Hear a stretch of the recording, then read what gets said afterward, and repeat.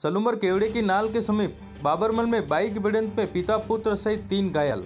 जारमई थाना क्षेत्र के केवड़े की नाल के समीप स्थित बाबरमल में सुबह दो बाइकों की आपस में जोरदार भिड़ंत हो गई। पिता पुत्र सहित तीन जने घायल हो गए। इसमें पुत्र की हालत गंभीर बनी हुई है।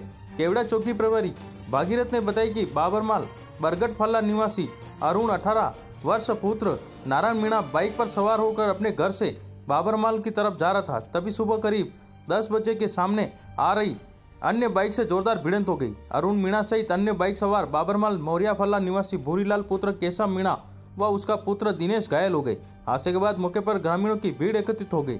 वही सूचना पर पहुँची पुलिस ने निजी वाहन से सभी घायलों को उदयपुर अस्पताल पहुँचाया। पुलिस के अनुसार हादसे में दिनेश मीणा को गंभीर चोटें आई।